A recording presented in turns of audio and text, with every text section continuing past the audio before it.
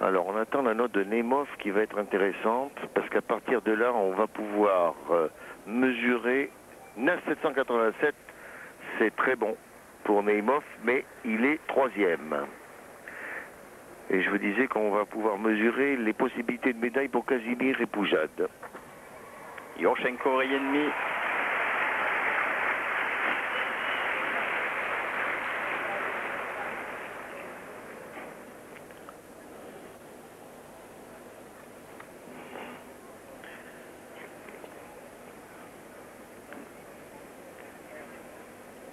Troisième avec 9,787. Euh, la lutte sera difficile. Ce sont des notes très haut perchées.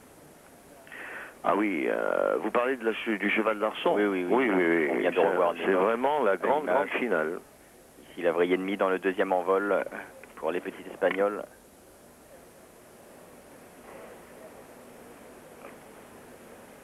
Qui a obtenu la note de 9,700 sur ce premier saut.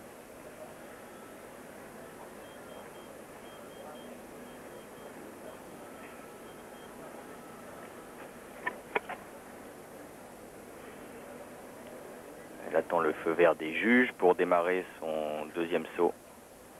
Voilà, 9700 s'affiche. Présentation au juge, nouvelle concentration.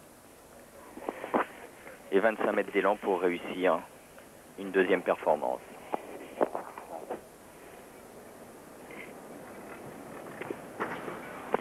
Etsukara avec une demi-vrille.